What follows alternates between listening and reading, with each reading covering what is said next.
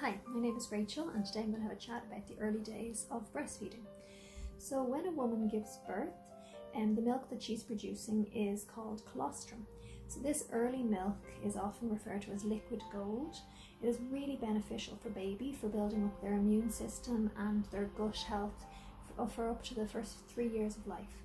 In one millimeter of colostrum, there's between one and five million white blood cells.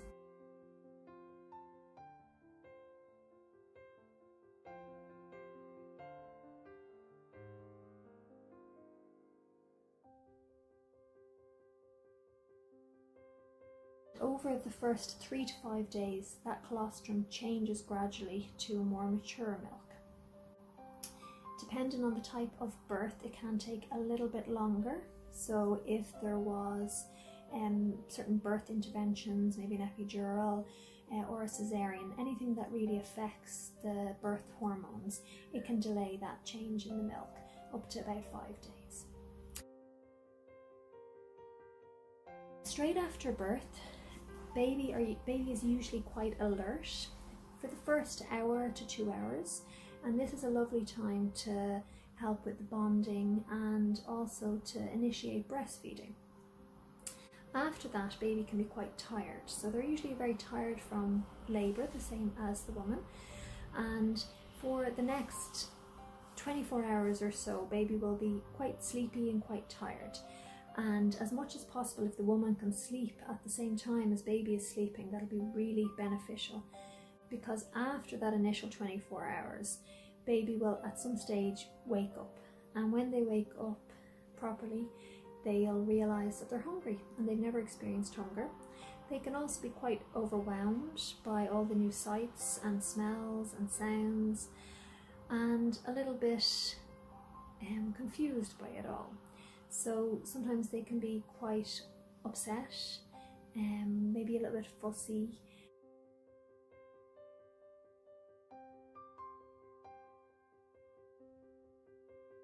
But knowing this can really change that. So knowing to expect it and knowing that the reason baby is a little bit upset is because they've come out of their perfect environment and they, they are just getting used to being on the outside of the womb. And things that we can do to help at this time is to keep baby on the mom's chest, skin to skin. And so as much as possible have baby skin to skin with mom, maybe a little nappy on.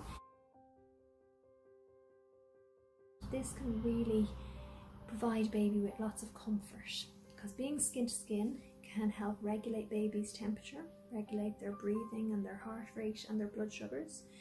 Um, it can also increase the oxytocin levels for mom, which can help with breastfeeding. Um, and also the proximity to the breast can be really helpful in the amount of breastfeeds baby has. Because if they're right there, then anytime that they stir, move a little, and um, they can have easy access to the breast.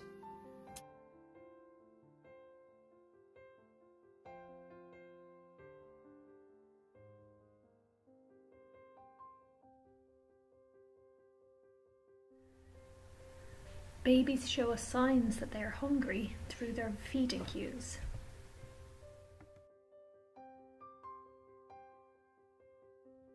So as you can see, the early cues are quite simple, so just a little bit more movement than they had had. Um, hand up to their mouth, some rooting, which is when maybe you stroke baby's face, that they, they turn towards that. And things like that are the early cues. Then more movement, um, looking a little bit maybe agitated, maybe yawning, things like that can be the mid-level cues.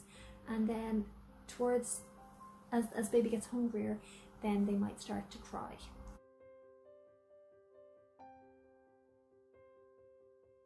So crying is a late cue for hunger and we want to try and get baby onto the breast before they reach that stage because if baby is crying what that means is we're going to have to try and calm baby down so that they can get onto the breast. And this could take maybe five minutes. And in that time baby is using up a lot of energy and calories crying. And what's going to happen then is they might fall asleep then quite quickly once they do calm down and start to feed. They might not get a full feed. And also they're using the calories that really should go into to feeding and to growing them. Um, so the earlier we can get baby on to the breast will allow for a calmer feed, a more efficient feed. And also in the early days, mom and baby are learning how to breastfeed. It is something that is instinctual, but also there's a bit of a learning curve.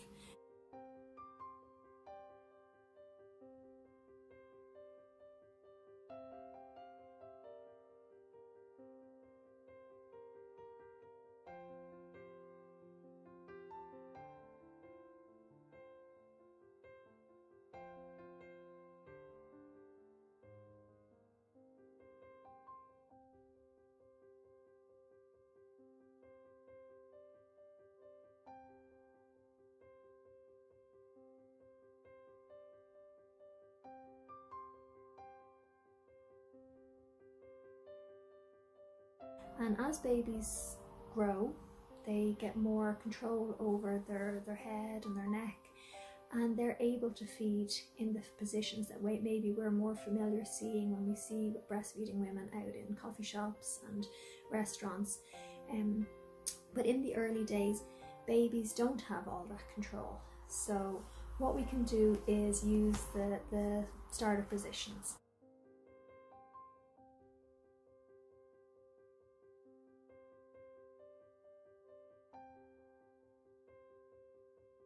So just to give you an idea, you can see I'm laid back here.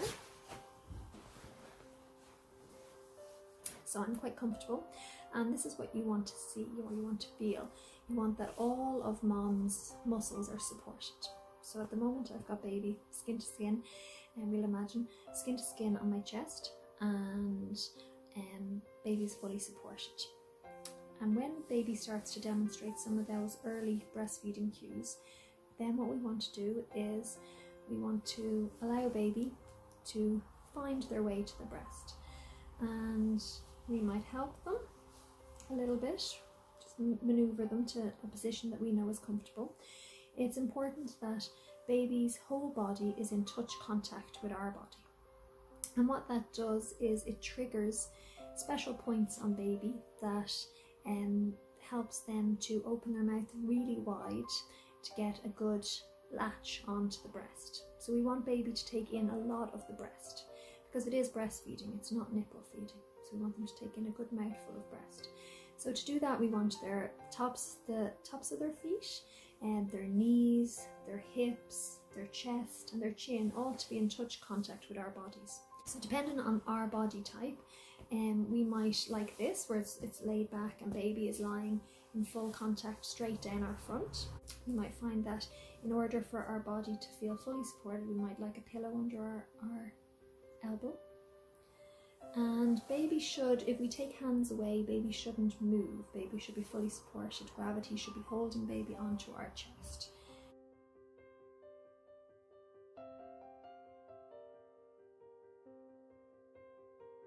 So you might prefer to have baby Again, in full touch contact, full touch contact across the body, but maybe more straight across rather than straight down. And in this position, baby's legs, you can see here, baby's legs aren't, baby's feet aren't in contact with anything. And so they have a little trigger point on the base of their feet as well. So we do want that to be in touch contact with something soft. So if it's something hard, babies will push against it. But if it's something soft, it'll just help to trigger that reflex. Some moms might want to just move their body a little bit more so they're more reclined and comfortable.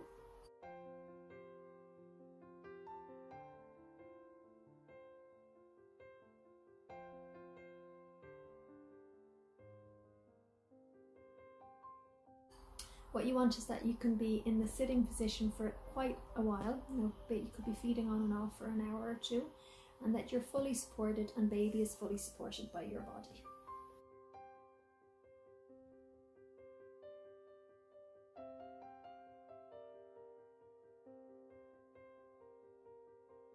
So it's really normal for babies to feed frequently. So small frequent feeds are what helps to build up your supply. It's normal for babies to be feeding anytime, anywhere between 8 and 14, 15 times, if not more, in a 24 hour period. But often those times are clustered together. Um, so you might have maybe three hours, often in the evening, where baby will feed um, kind of non-stop. Um, you might find that you're switching from one side to the other, um, and that's really normal. That's baby helping you to bring in more milk for the next day. They'll usually have one longer stretch during the day where they will sleep for a little bit longer. It's not always at night that we might prefer, and um, it is often in during the daytime. And if possible, particularly for first time moms that don't have other little toddlers running around to look after other kids, uh, if you can sleep while baby has a sleep, it really gives you a boost and it gives you more energy then for the time where they are cluster feeding or if they're waking quite regularly at night. Over the first few days, we'll expect to see baby having lots of wet and dirty nappies. On day one, um, baby's poos are quite black and thick and tar-like in substance, and this is called meconium. This, as the milk changes, and the poos also change. So gradually the poos go from black to green and then to yellow on day three or day four. And by day four, we'd like to see um, at least four of these uh, yellowy, liquidy poos that are normal for a breastfed baby.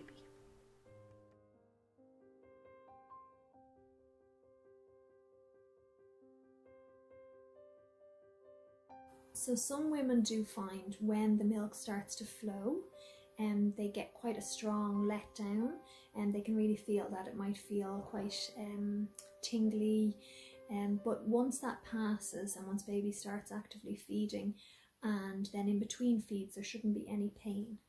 And if there is or if you notice damage on the nipples um, it's really important to get in touch with a breastfeeding counsellor um, La Leche leader um, or a lactation consultant. So in the hospital, you'll have access to a lactation consultant or then a private lactation consultant. A lot of them are doing video calls at the moment.